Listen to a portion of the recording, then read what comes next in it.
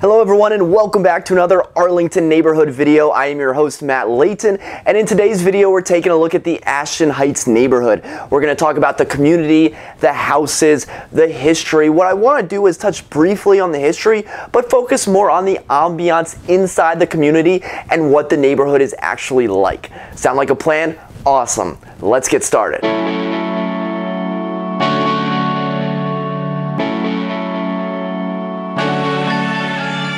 Ashton Heights is located in North Arlington and is bounded by Arlington Boulevard on the south, Glebe Road on the west, Wilson Boulevard on the north, and Irving Street on the east. The neighborhood was founded all the way back in 1919 and has just over 1,800 households. Like many neighborhoods in this vicinity of Arlington, Ashton Heights was sparsely populated farmland up until around 1910 when the trolley line that ran through Clarendon was in its heyday. You have to remember that this is before cars. People didn't just choose to live in Arlington and parts west and then commute into DC like they do now.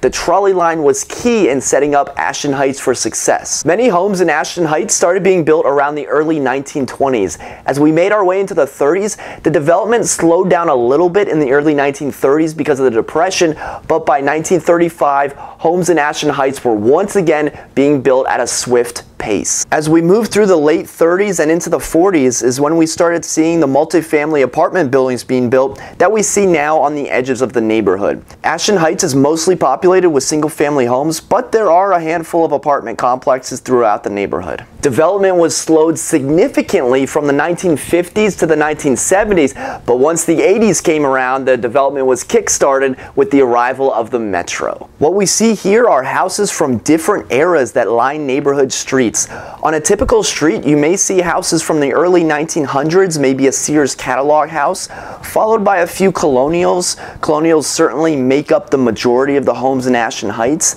Then maybe that's followed by an updated bungalow or craftsman, followed by a new build. And even throughout all these changes and developments that have made their way into Ashton Heights, the neighborhood has retained a lot of its original character. The neighborhood still features an abundance of mature trees that create a tree canopy.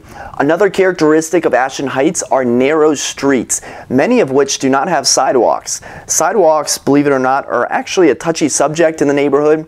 Most of the main streets that run north-south like Jackson and Lincoln will have sidewalks, but some streets like Norwood, 6th, and 5th Street, just to name a few, will simply not have sidewalks. Two points involving streets. First, streets with names will always have more traffic than those that are numbered. Jackson Street comes to mind because it connects the neighborhood with Route 50, but there are certainly other streets in the neighborhood that carry a lot of through traffic as well. And the second point is that Arlington County has done a good job of implementing traffic calming measures like traffic circles and curb bump outs. Now these curb cuts, sidewalk additions, and speed bumps are not without contention from the neighborhood. Some see it as an improvement that the county is making to make complete streets or what's known as complete streets, while others see it as yet another example of Arlington County wasting taxpayer money to fix problems that weren't even problems in the first place. Now, the way I see it is that Arlington and Ashton Heights is only going to become more densely populated, right? There's only going to be more people that want to live in the area. That means more cars, more bikers, more put whatever mode of transportation, there's going to be more of it. Now listen to this. You you don't have to bike to work. Uh, you don't have to walk to work. You can keep driving to work, but just know that your neighbors are biking to work and your neighbors are walking to work. And that means less cars in front of you.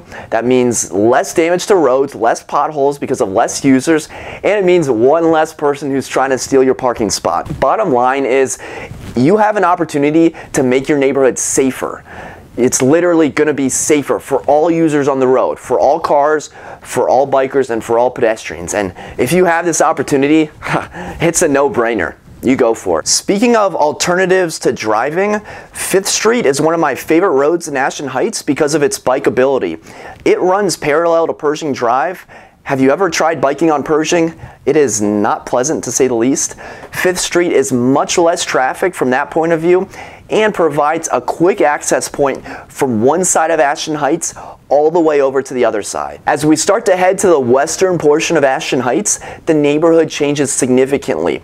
There's many more businesses and apartment complexes located along Glebe, Piedmont Street, and Pollard Street compared with the eastern parts of the neighborhood. There are a few overlapping neighborhoods in the western part of Ashton Heights. Take, for example, the Kettler Capitals Iceplex, where the Capitals practice, and soon to be Ballston Quarter.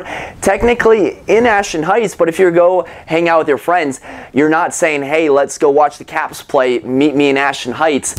It's like, hey, we're going to Ballston. Or if you're going to go get a delicious falafel at Ravi Kabob, most would refer to that as Buckingham, even though Ravi Kabob is technically in Ashton Heights. Although the neighborhood is mostly single family houses, it does go to show that there's a variety of businesses, structures, and residences throughout the community. And in addition to all of this, there's also some nice parks in Ashton Heights.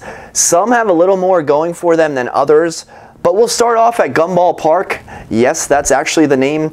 This park is pretty straightforward and has just a few benches. Maybe it's large enough to throw a frisbee, but it's more of a sedentary park. Next up is Herselle Milliken Park, which is even smaller than Gumball Park, but it does have a nice, albeit short trail and some benches in the shade. We now move to Maury Park, which features two tennis courts, a small field, and a playship for the kids. The park sits adjacent to the Arlington Arts Center.